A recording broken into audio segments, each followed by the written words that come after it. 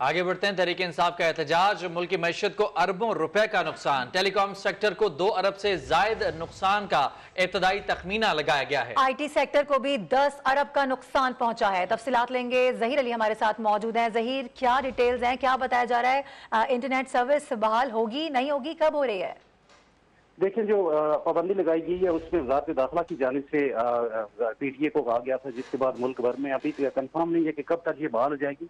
क्योंकि mobile brand broadband जो है उस पर मुकम्मल पाबंदी है और टेलीकॉम इंडस्ट्री के मुताबिक तीन दिन में दो अरब छियालीस करोड़ से रेवेन्यू लॉस हो गया है और मोबाइल ब्रांड जो कनेक्टिविटी है, उससे हुकूमत को साढ़े अट्ठाईस करोड़ का डेली का जो रेवेन्यू आता था टैक्स की मद में, वो भी नुकसान हुआ। मजबूरी तौर पर छियासी करोड़ से जायद का रेवेन्यू लॉस हुआ और आई सेक्टर जो है, वहाँ पे तकरीबन 10 से 12 अरब रुपए का नुकसान अब तक हो चुका है तीन दिनों में।